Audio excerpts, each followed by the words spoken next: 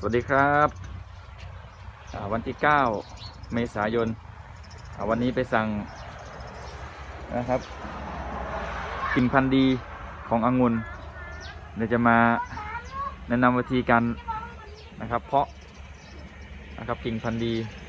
สั่งแบบเสียบยอดมานะครับเดี๋ยวดูด้วยกันนะครับใช้เวลาในการขนส่งส่งมาเมื่อวันที่ 5 6 7 8 9 นะครับ 4 วัน นะมาถึงก็เอามาแช่น้ำก่อนนะครับ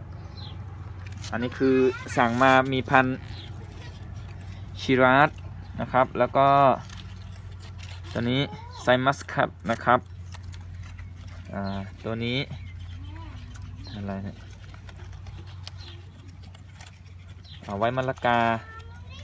ครับไว้มะละกา แล้วก็อีกตัวก็จะเป็นสกาลอตต้านะครับ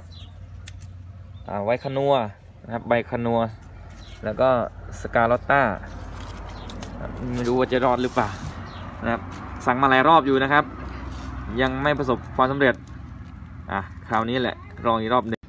สำหรับวัสดุในการเพาะนะครับก็จะเป็นอ่าใบกัมปูขุยมะพร้าวอันนั้นก็คือดินพร้อมปลูกนะครับ แล้วก็จะเอาพิสมอสแล้วก็ปูนขาวจะผสมด้วยกันนะครับในอัตราส่วนอย่างละเท่ากัน แล้วก็ใช้ถุงนะครับ4คูณ9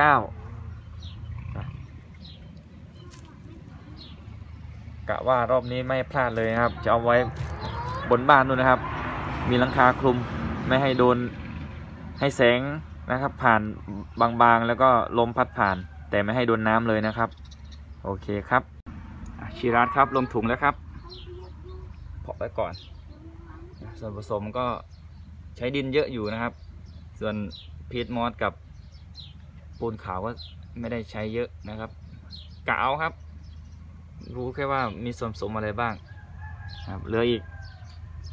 สี่ต้นนะครับโอเคครับองุ่นห้าต้นครับ ไวมาเลกาสกาลอตต้า